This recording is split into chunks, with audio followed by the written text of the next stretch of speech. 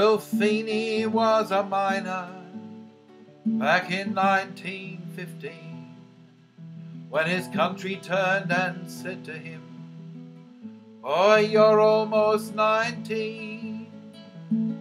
It's time you came and worked for us because the war's begun. Forget about your mother, boy, for now you're England's son.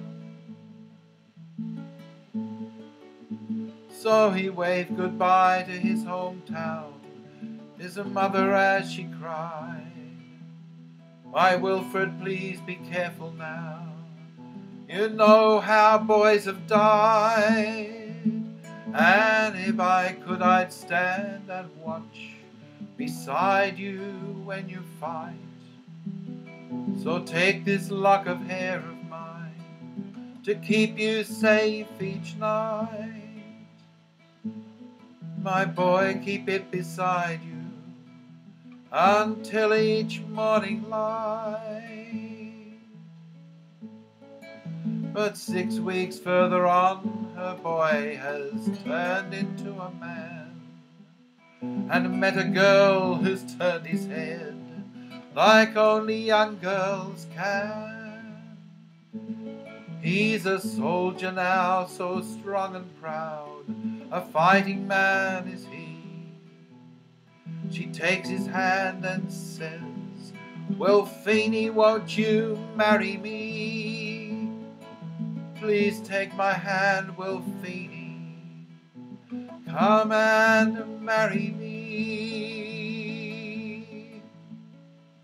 And he puts his hand around the lock of hair his mother gave and said to her, I'm sorry, girl, I can't marry you today, for my mother's here right by my heart to watch right over me. And until this evil war is done, only she can set me free. I love you, girl, please wait for me for she will set me free.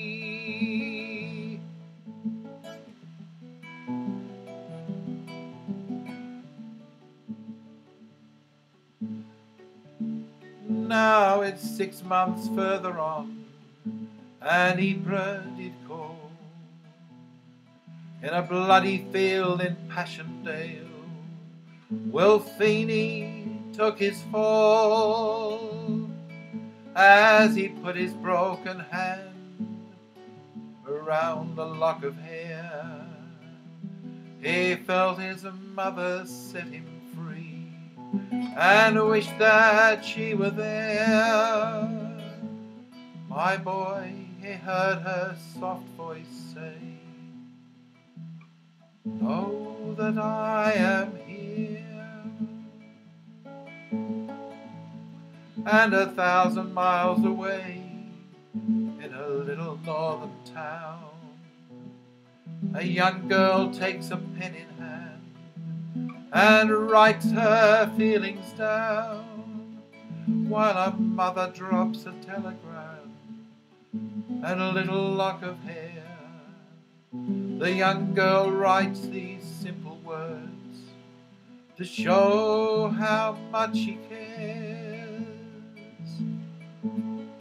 Wilf Feeney, won't you marry me? Won't you marry me?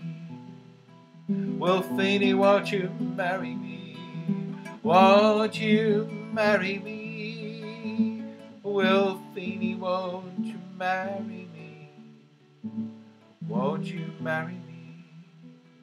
Wilf Feeney, why won't you marry me?